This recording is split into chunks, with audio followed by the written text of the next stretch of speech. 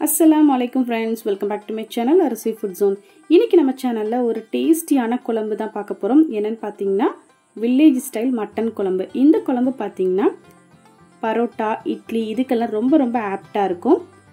So வாங்க இது எப்படி பண்ணுறதுன்னு பார்த்துடலாம். வீடியோக்குள்ளே போகிறதுக்கு முன்னாடி நம்மளோட சேனலுக்கு ஃபர்ஸ்ட் டைம் பார்க்குறது இருந்தால் ப்ளீஸ் சப்ஸ்கிரைப் பண்ணிக்கோங்க. அண்ட் கூடவே இருக்கிற பெல் ஐக்கனை கிளிக் பண்ணிட்டு ஆல் அப்படிங்கிற ஆப்ஷனை சூஸ் பண்ணிங்கன்னா தான் நான் போடுற நியூ அப்டேட்ஸ் உங்களுக்கு வந்துட்டு இருக்கும். வாங்க நம்மளோட எமியான மட்டன் குழம்பு எப்படி பண்ணுறதுன்னு பார்த்துடலாம். ஃபஸ்ட்டு ஸ்டவ் ஆன் பண்ணிவிட்டு இந்த மாதிரி ஒரு அகலமான கடாய் வச்சுருக்கிறேன். அதில் ஒரு டேபிள் ஸ்பூன் போல் ஆயில் சேர்த்துக்கிறேன். நெக்ஸ்ட்டு நாலு டேபிள் ஸ்பூன் தனியாக சேர்த்துக்கோங்க. அப்புறமா ஒரு டேபிள் ஸ்பூன் சோம்பு. நான் இன்றைக்கி ஹாஃப் டேபிள் ஸ்பூன் மிளகு சேர்த்துருக்கிறேன். உங்களுக்கு எந்த அளவுக்கு காரம் தேவையோ அந்தளவு சேர்த்துக்கோங்க. நெக்ஸ்ட்டு ஹாஃப் டேபிள் ஸ்பூன் ஜீரகம் இது எல்லாம் லைட்டாக ஃப்ரை பண்ணிவிட்டு அப்புறமா இதில் மூணு துண்டு பட்டை ரெண்டு பீஸ் ஏலக்காய் நாலுலேருந்து அஞ்சு பீஸ் கிராம்பு ஆறுலேருந்து ஏழு கேஷ்யூ நட் சேர்த்துக்கோங்க. இது எல்லாத்தையும் நம்ம லோ ஃப்ளேமில் வச்சு ஃப்ரை பண்ணி எடுத்துக்கலாம். நெக்ஸ்ட்டு இதில் ஒரு ஒரு டீஸ்பூன் போல் நான் கசகசா சேர்த்துருக்குறேன். ஸோ இது சேர்த்தோம் அப்படின்னா குழம்புக்கு வந்து ஒரு திக்னஸ் கிடைக்கும். ஸோ இதையும் நல்லா ஃப்ரை பண்ணி எடுத்துக்கலாம். நெக்ஸ்ட்டு இதை ஒரு மிக்சி ஜாரில் மாற்றிட்டு சூடு ஆறுனதுக்கப்புறமா ஒரு தடவை பல்ஸ் பண்ணி எடுத்து வச்சுக்கோங்க. நெக்ஸ்ட்டு பார்த்தீங்கன்னா அதே கடாயில் லைட்டாக நான் எண்ணெய் ஊற்றிருக்கிறேன் ஒரு ஹாஃப் டேபிள் ஸ்பூன் கிட்ட போதும்.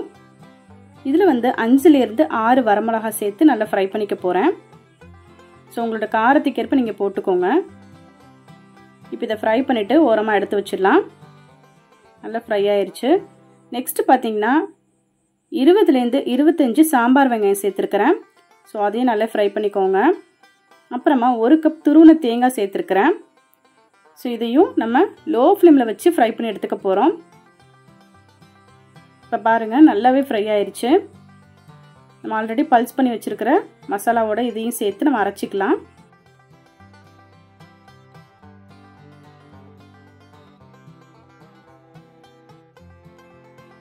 இப்போ பாருங்கள் நல்லா ஃபைன் பேஸ்ட்டாக அரைச்சி எடுத்தாச்சு. இப்போ நம்ம இதை ஓரமாக வச்சிடலாம்.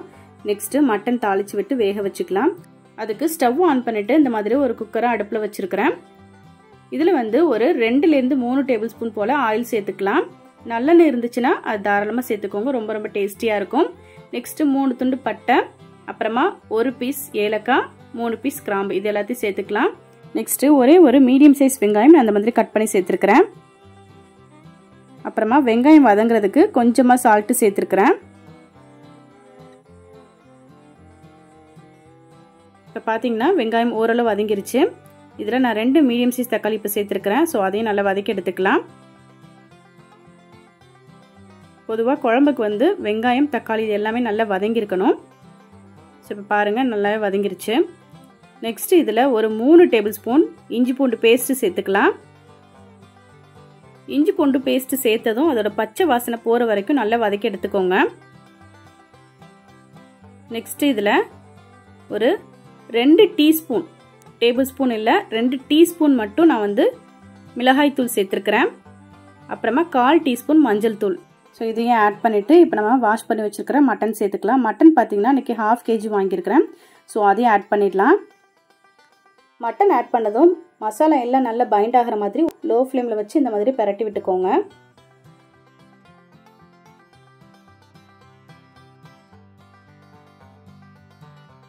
மட்டன் வந்து நல்லா சாஃப்டாக குக் ஆகணும் அப்படிங்கிறதுக்காக ரெண்டு டேபிள் ஸ்பூன் தயிர் சேர்த்துக்கலாம்.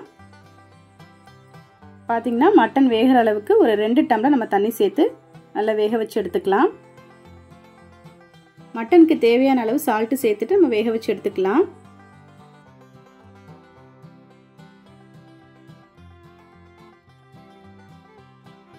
மட்டன் வேக வைக்கிறதுக்கு முன்னாடி அதில் கொஞ்சமாக மல்லி புதினா சேர்த்துட்டு நம்ம வேக வச்சோம் அப்படின்னா அதோட ஃப்ளேவர் வந்து ரொம்ப ரொம்ப நல்லாயிருக்கும் நான் இன்றைக்கி மட்டன் வந்து ஒரு அஞ்சு விசில் லோ ஃப்ளேமில் வச்சு குக் பண்ணி எடுத்துக்கிட்டேன்.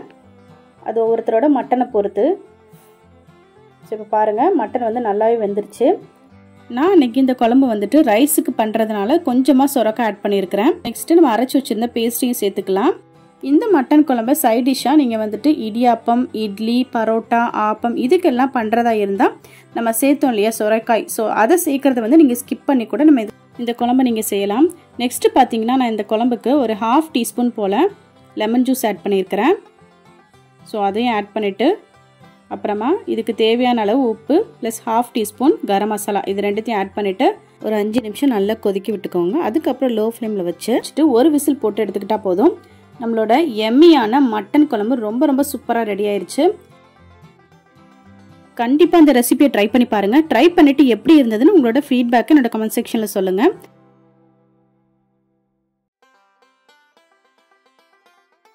அண்ட் இந்த வீடியோ உங்களுக்கு ரொம்பவே பிடிச்சிருக்கும்னு நினைக்கிறேன். பிடிச்சிருந்தா லைக் பண்ணுங்கள் ஷேர் பண்ணுங்கள் கமெண்ட் பண்ணுங்கள் மறக்காமல் அரிசி ஃபுட் ஜோன் சேனலுக்கு சப்ஸ்கிரைப் பண்ணிக்கோங்க. Thank you